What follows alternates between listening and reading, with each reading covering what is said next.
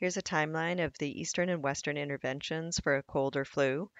The orange shows the Eastern medicine prevention and all four levels. The Western medicine, if there's a vaccine available, it'll have prevention, and otherwise it intervenes at three and four. There was a lost opportunity when coronavirus hit. We didn't have a vaccine, which meant that Western medicine only intervened at level three and four, which is late stage and pretty dangerous. Eastern medicine, which was done in Asia, was both prevention and level one, two, three, and four. A lot of people did complete integration. When it hit, 80% of the Chinese used traditional Asian medicine, both acupuncture and herbs, to limit the severity and duration of the coronavirus. And the Beijing Health Commission stated that traditional Asian medicine helped improve outcomes by 92% with less symptoms, improving recovery speed, and resulting in fewer deaths.